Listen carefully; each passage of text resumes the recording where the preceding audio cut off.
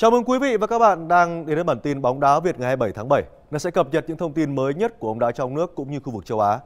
Chiều qua đội tuyển U20 Việt Nam tiếp tục có buổi tập tại Trung tâm Đào tạo bóng đá Việt Nam để chuẩn bị cho giải U19 quốc tế 2022 tại Bình Dương.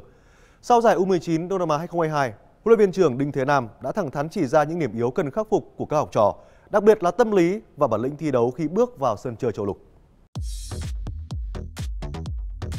Chiều 26 tháng 7, đội tuyển U20 Việt Nam tiếp tục có buổi tập tại Trung tâm Đào tạo bóng đá trẻ Việt Nam nhằm chuẩn bị cho vòng loại U20 châu Á 2023.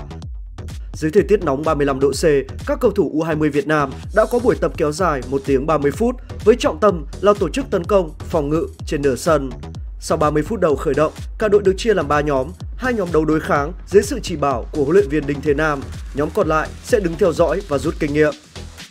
Sau khi xoay vòng thi đấu khoảng 6 lượt, huấn luyện viên Đinh Thế Nam cho các học trò trở lại với kích thước sân tiêu chuẩn, tiếp tục rèn luyện kỹ chiến thuật. Đáng chú ý, tiền đạo quốc Việt đã không thể tham gia buổi tập vì vấn đề sức khỏe sau khi có dấu hiệu cảm cúm trong ngày hôm qua. Trước buổi tập, huấn luyện viên trưởng Đinh Thế Nam cũng đã có phần trả lời truyền thông liên quan đến đội tuyển U20 trong hành trình đã qua cũng như những hoạt động theo kế hoạch tập luyện thi đấu sắp tới.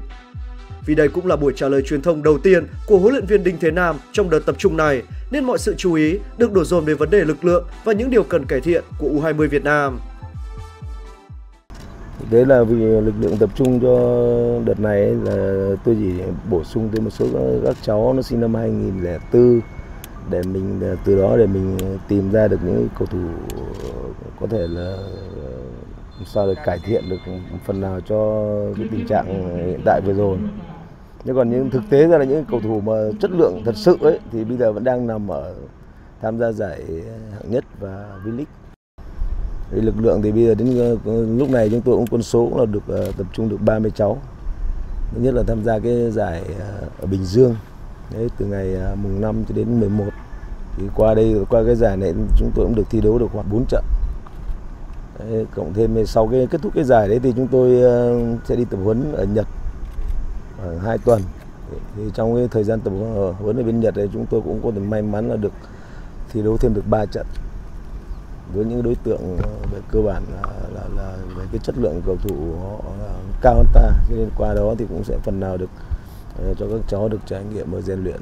Để hy vọng thông qua uh, từ nay cho đến trước khi bước vào cái vòng loại U20 cúp uh, châu Á thì là các cháu cũng sẽ có những tiến bộ hơn và thông qua các trận đấu cũng như là rèn luyện về cái tâm lý bản lĩnh cũng như là chúng tôi sẽ uh, sẽ cải thiện về một số những vấn đề về chiến thuật trong cái phòng ngự cũng như tấn công. Theo kế hoạch, đội tuyển U20 Việt Nam sẽ tập luyện tại Trung tâm Đào tạo bóng đá trẻ Việt Nam đến hết ngày 31 tháng 7 trước khi di chuyển vào Bình Dương tham dự giải U19 quốc tế 2022. Kết thúc giải U19 quốc tế, toàn đội sẽ có chuyến tập huấn quan trọng tại Nhật Bản. Ngày hôm qua là trận thứ 3 bảng A giải U18 nữ Đông Nam Á 2022 đã diễn ra với trận đấu tâm điểm là cuộc đối đầu giữa U18 Indonesia và U18 Việt Nam. Hai trận thắng liên tiếp giúp Indonesia rất tự tin khi đối đầu với các cô gái của chúng ta. Mặc dù đã có được bàn thắng vừa lên dẫn trước, thế nhưng chừng đó là không đủ để ngăn đoàn quân của huấn luyện viên Akira có được 3 điểm trong trận đấu này. Giải vô địch U18 nữ Đông Nam Á bước sang lượt trận thứ hai và thử thách cho các cô gái trẻ của Việt Nam lần này là chủ nhà Indonesia sau những phút đầu bóng lăn không thể ghi bàn từ phía U18 Việt Nam, đội chủ nhà bất ngờ mở tỷ số từ nỗ lực cá nhân với một cú cứa lòng từ xa vào góc phải khung thành của Marcela Awi mở tỷ số phút 38. Thế nhưng đó cũng là tất cả những gì mà đội chủ nhà làm được khi ở các phút 47 và 72, Ngọc Minh Chuyên và Nguyễn Thị Như Quỳnh mang về hai bàn thắng quý giá và hoàn tất cú lội ngược dòng cho U18 nữ Việt Nam. Chiều nay 27 tháng 7, đội tuyển U16 Việt Nam đã lên đường sang Indonesia tham dự giải vô địch U16 Đông Nam Á 2022. Trước ngày khởi hành, huấn luyện viên trưởng Nguyễn Quốc Tuấn đã đưa ra quyết định lựa chọn 28 cầu thủ vào danh sách đăng ký thi đấu chính thức.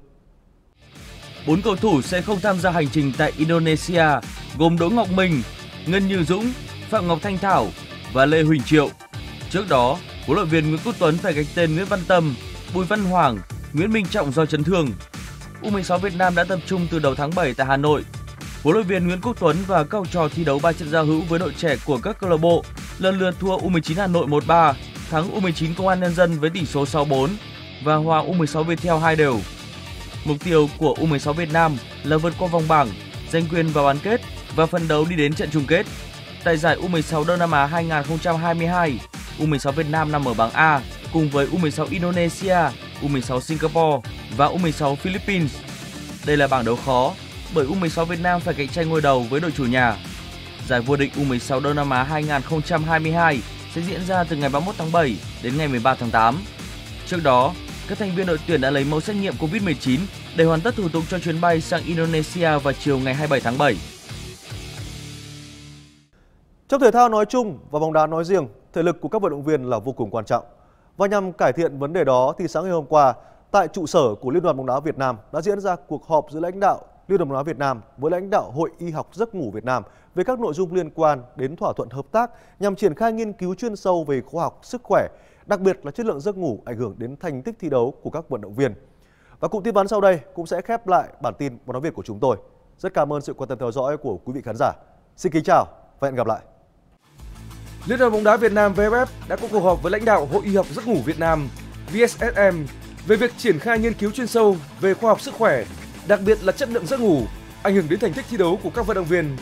Giáo sư tiến sĩ khoa học bác sĩ Dương Quý Sĩ và VSSM tin tưởng với sự đồng thuận và hỗ trợ từ phía Liên đoàn bóng đá Việt Nam, các nghiên cứu sẽ góp phần nâng cao chất lượng của các đội tuyển. Bóng đá Việt Nam đang có thành tích rất tốt. Tất cả các khía cạnh từ việc điều trị chấn thương đến dinh dưỡng đối với các cầu thủ đều được liên đoàn quan tâm và đầu tư toàn diện. Tuy nhiên, trong cuộc đời mỗi người, một phần ba thời gian là giấc ngủ, nên giấc ngủ cũng cần được quan tâm nhiều hơn. Việc rối loạn giấc ngủ dễ gây mất tập trung, làm ảnh hưởng đến thành tích thể thao.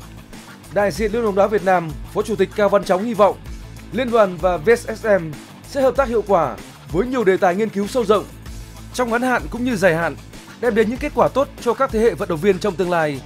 Chương trình hợp tác dự kiến khởi động ngay trong quý 4 năm 2022 bắt đầu với nhóm các cầu thủ nữ U14 và U16 tập trung tại Trung tâm Đào tạo bóng đá trẻ Việt Nam.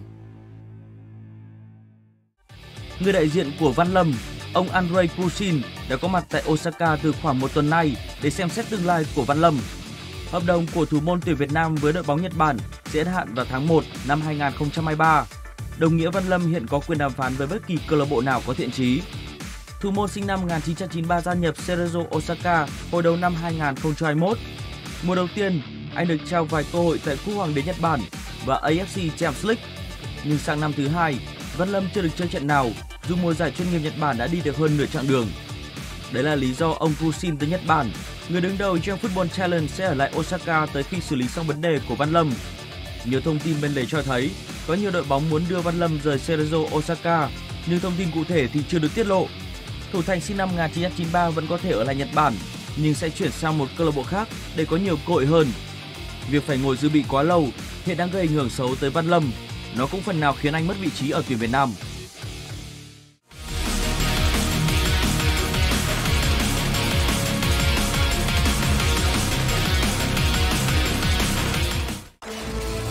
Nghiệm thế giới thể thao không giới hạn cùng FPT Play.